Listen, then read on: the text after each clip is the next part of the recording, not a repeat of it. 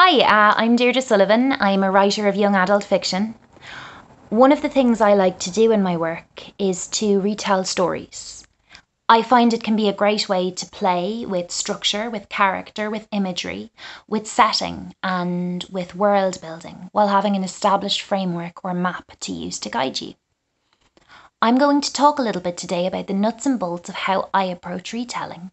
And for every nut and every bolt, I'm going to give you a little bit of work to do yourselves so that by the end of this workshop, hopefully you have a, um, a beginning, a start, something you can get excited about. Okay, here we go.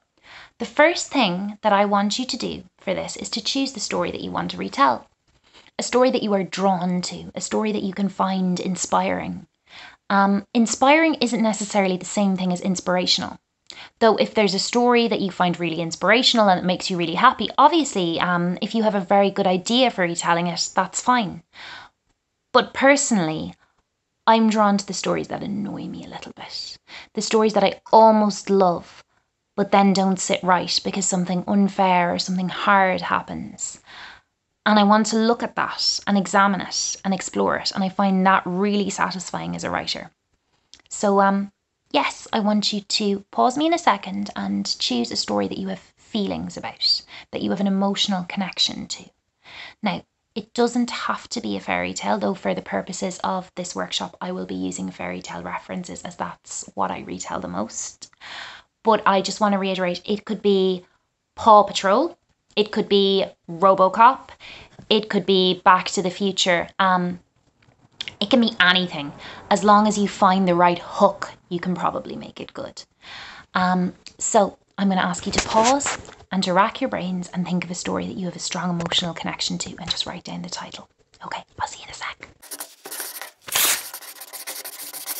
Hi, welcome back. So now you have a story that you want to retell or a story that you're thinking about that makes you curious. So now we're going to follow that curiosity for a little bit.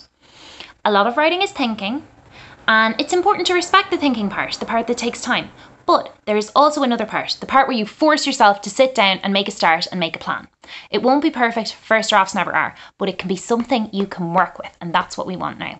So we're going to try and build a map or build bones of the story. I want you to take a timer on your phone and set it for three minutes. And I want you to take that time to write what you remember happening in that story, how you recall the story, as much of it as you can remember, okay? Just for the three minutes. And when it beeps, come back to me and I'll be very, very proud of you. Welcome back. I'm so proud of you. Um, so you've chosen the story you want to tell. And now we're going to look at the imagery that draws you in, and it might give you hints of the themes you want to explore the main character.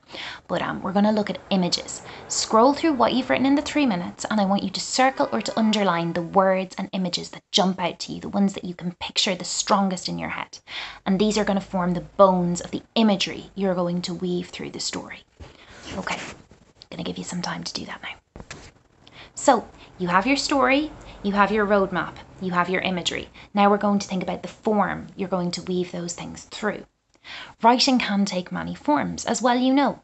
So I want you to think about what you like to write, what your strengths are as a writer, and also what might suit the story that you want to tell. If you want to explore a scene, an emotion, a powerful moment, perhaps a poem or a piece of flash fiction might be the way to go. If you want to explore a side character's journey within the story or to retell it in a compact manner, um, short fiction might be the way to do that. Um, if you want to add to it, to put layers and layers onto the world and maybe kind of do some world building, um, like Cinderella with vampires or Little Red Riding Hood, only everyone has dragons. Like that sounds like a novel to me. If you want to, um, if you want to tell a visual story, maybe you want to storyboard a film or write a script um, or a play or um, a graphic novel um, or comic strip, like go nuts. Just choose something that you really like and think about the story that you want to tell and how they will mesh together and find find the right form that you're going to work on.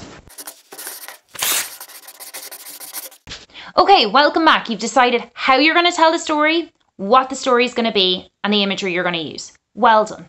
Now we're going to look at main character because even if you're writing a poem, like, I mean, there's a voice, there's a perspective. Um, so I want you to think about who your main character is. What are they like? What do they want? Um, and will the story give it to them or prevent them from getting it? With fairy tales, because they tend to be quite short, um, the characters might not be drawn with the level of complexity that you would like for them. But that's a blessing because you get to colour them in and decide who they are. And that's really powerful as a writer. Um, so I want you to think about a character within your story that you are going to write. And I want you to flesh them out a little bit. Just take two minutes to write down six things about them what they want, what they fear, who or what they love, what motivates them, and how they fit into the story. Are they the main character? Are they the side character? How are they going to see what unfolds? Hi, okay, now you have a character, you have a story, you have the imagery, and you've decided the form it's going to take. Um, well done. This is so much for six minutes. I'm, I'm really like delighted with you.